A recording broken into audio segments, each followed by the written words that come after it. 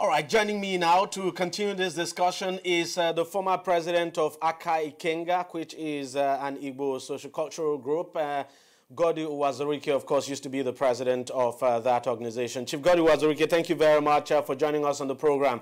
I know you have been at the forefront now of uh, the campaign to get um, a, a, southeastern presidency, and um, it appears uh, do, do, you, uh, let me just put the question that way, do, do you think um, that, that quest now could be easily achieved through um, the current president, Muhammadu Buhari? Because basically that's uh, what uh, the secretary to the government of the federation said when uh, those Igbo leaders went to visit him last week. Well, I know that Igbo leaders have not really visited President Muhammadu Buhari, there have been some people who style themselves Igbo leaders and they go there. I see them as political merchants. When the Igbos want to send a delegation, the man who will lead will always be the President General for Hanese.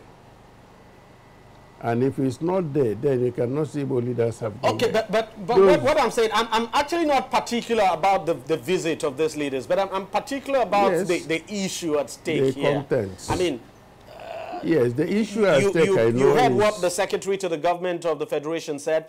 Even before the secretary to the government of the Federation actually spoke, the uh, chairman, the national chairman of the APC had said this a while back, that um, the APC represents uh, the best chance for um, uh, the, the, the, Southeasterners to, um, you know, realize their quest for Southeastern presidency in 2023? Well, I am laughing. As Obasanjo, our former president, would say, I de laugh. Oh. You see, when it, when it comes to election period, all kinds of promises are made. Most of them have 2019 election in view. I respect Mr. Boss Mustapha. I respect Chief John Odigie Oyegun.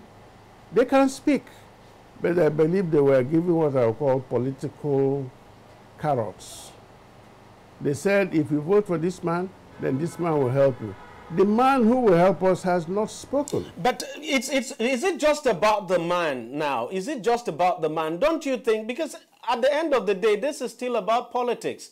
And don't you think this yes. is a time, of course, for the Southeasterners to begin to negotiate, not just with um, the APC, of course, not just with President Buhari, because at the end of the day, I mean, there's, there's, there's so much President Buhari can say. At the end of the day, it would not definitely boil down to him. Well, let me give you a straightforward answer. Credibility is what is at stake now. Credibility of the, both the offerer, the person offering us, and the credibility of those who are responding on behalf of Ndigbo. And that is where the lacuna lies.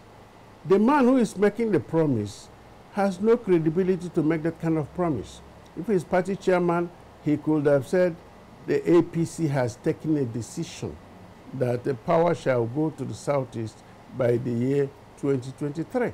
No such thing. It is if you do this, the party will do this. If PDP comes to us to say by 2023 power will shift to southeast, I will believe them. But why? as for APC, I will why, why would you believe, excuse me now, why would you believe the PDP, for instance? Because the fact is that the PDP has zoned the presidency to uh, the north of the country now.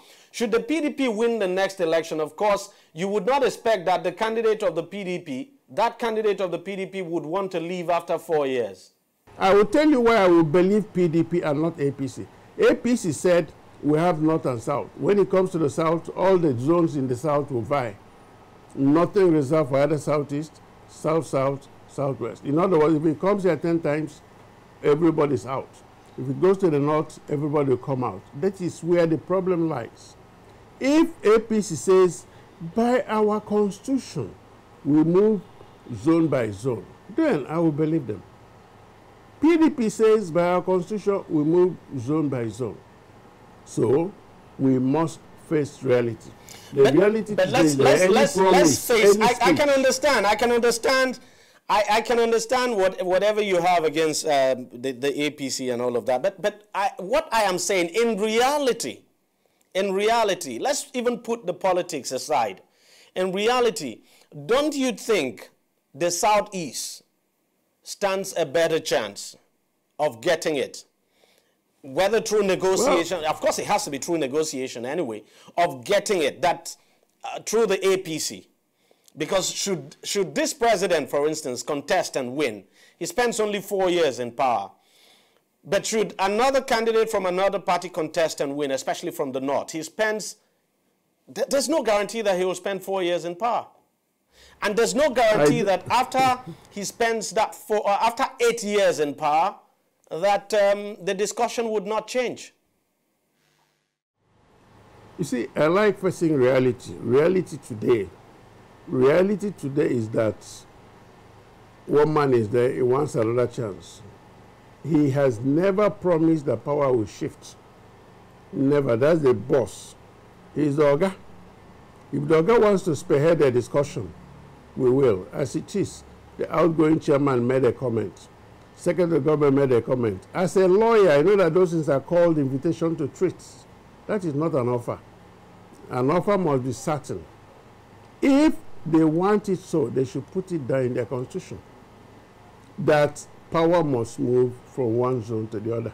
Whether this thing is in the constitution or not, I, I just know that it's up to uh, it's also up to you to, to negotiate negotiate. Yeah, but you negotiate uh, based on the with, terms of you know, what you have. Practically uh, the, the other zones, uh, if you like, and uh, that is uh, the other geopolitical zones now, if you like, and that uh, ultimately the decision does not rest on one man, even if that man is the president of this country. but let me give you a straightforward answer.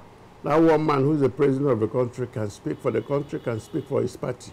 He is the only man who will say, I believe that after me, this power should shift. If he makes that comment, many people believe him. But as it is, he has said nothing. Let's just wait and see. But one thing I know is that um, the southeastern political leaders have got to play their game very well. As a matter of fact, as they yes. always say, power is not given a la carte. You have to fight for it. You have to negotiate for it. You don't just sit That's down and wait, even if said. it's in the constitution him. of a political party.